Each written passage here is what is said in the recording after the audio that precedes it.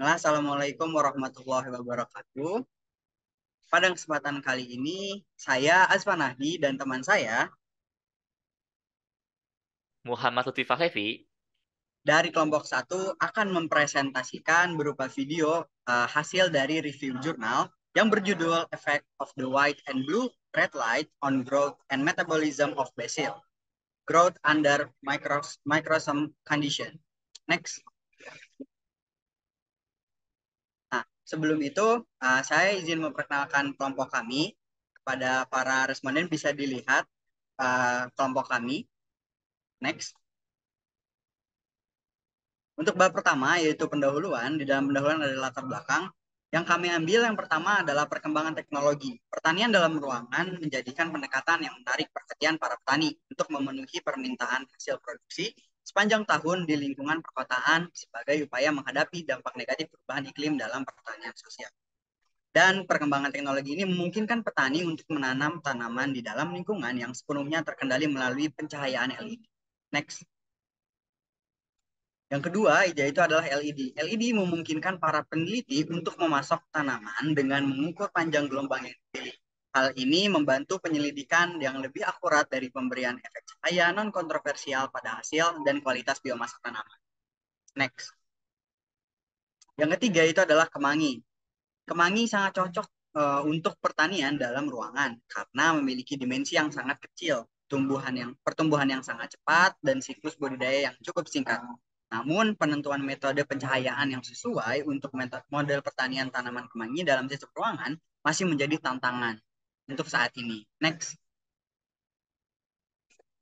Bentuk bab yang kedua itu adalah tujuan. Penelitian ini bertujuan untuk yang pertama mempelajari efek dari cahaya putih dan biru merah dan biru merah terhadap pertumbuhan dan metabolisme kemangi dalam kondisi mikros, mikros, mikrokosmos.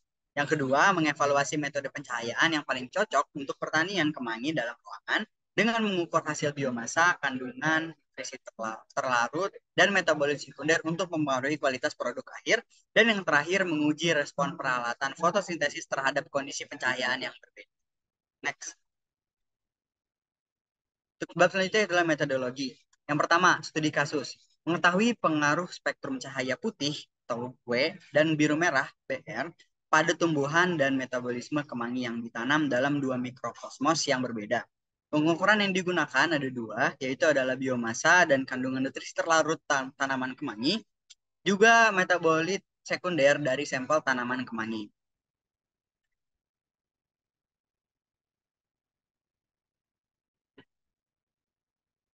Uh, selanjutnya, sumber data. Sumber data yang digunakan dalam studi literatur terkait merupakan percobaan laboratorium yang dilakukan oleh para peneliti dengan kondisi kontrol yang cukup ketat. Kemudian data yang diambil dari pengukuran yaitu adalah biomasa ya, dan kandungan nutrisi terlarut tanaman kemangi, kemudian metabolit dari sistem tanaman kemangi, dan juga yang terakhir data yang data juga diperoleh dari respon peralatan fotosintesis terhadap kondisi pencahayaan yang berbeda. Next. Selanjutnya akan dijelaskan oleh rekan saya. Uh, baik, yang ketiga itu ada analisis data. Analisis data menggunakan yang pertama itu ada analisis data deskriptif, yang kedua analisis analisis stat statistik inferensial.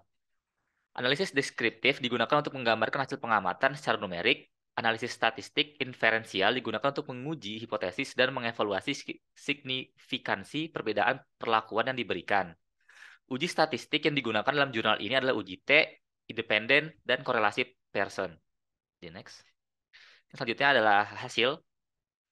Uh, untuk hasil yang diperoleh uh, menunjukkan adanya perbedaan respon dikarenakan perlakuan yang berbeda, yaitu diletakkan di tempat dengan cahaya yang berbeda pada gambar A dan gambar B. Adapun hasil yang diperoleh mencakup beberapa kriteria, yaitu yang pertama pertumbuhan dan perkembangan tanaman, yang kedua analisis fluoresensi klorofil, yang ketiga konsentrasi nutrisi, dan keempat adalah profil metabolisme. Next. Oke, uh, tanaman kemangi yang diletakkan pada tempat dengan cahaya putih W lebih tinggi dan daunnya lebih banyak dibandingkan dengan tanaman kemangi yang diletakkan pada tempat cahaya biru atau BR. Tanaman kemangi dengan cahaya putih uh, juga memiliki elektron transport rate ETR lebih tinggi dibandingkan dengan cahaya biru merah atau BR. Tanaman dengan cahaya putih akan lebih banyak memiliki konsentrasi ion terutama di bagian batang daripada tanaman kemangi dengan cahaya biru merah tanaman kemangi dengan cahaya biru merah lebih banyak memperlihatkan senyawa fenolik ketimbang cahaya putih.